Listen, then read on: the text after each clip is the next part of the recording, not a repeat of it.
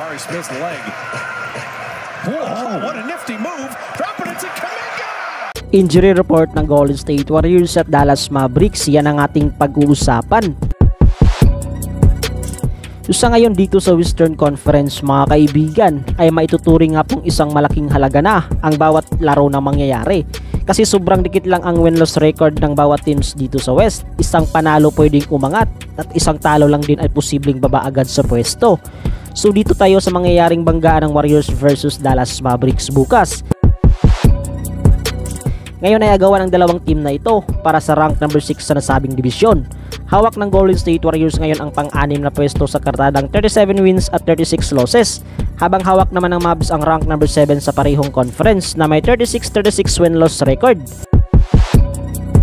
Kung anong team ang mananalo sa muling pagkikita ng dalawang kupunan, ay siyang paniguradong hahawak sa pang-anim na pwesto dito sa Western Conference. Kaya naman ang mangyayaring game bukas ay parehong importante sa dalawang grupo dahil dyan ay paniguradong magkakaroon ng matinding bakbakan ito. Bukas ay ang ikatlong banggaan na magkabilang team. Unang laban noong November 30, 2022 kung saan nakuha ng Dallas Mavericks ang panalo sa larong iyon sa score na 116 to 113.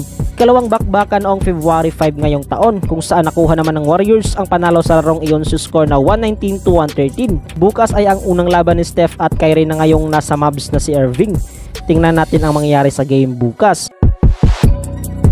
Samantala, dumako na tayo sa injury report ng dalawang team. Ayon sa injury report posted by the ESPN para sa Dallas Mavericks mga kaibigan, listed questionable si Markieff Morris dahil sa knee injury at Luka Doncic questionable rin po bukas versus JSW habang listed probable naman si Kyrie Irving. Ibig sabihin expected ang paglaro ni Kyrie bukas. Para sa Golden State Warriors naman, out pa rin sina Andre Iguodala, Gary Payton II, Andrew Wiggins, Ty Jerome at Ryan Rollins.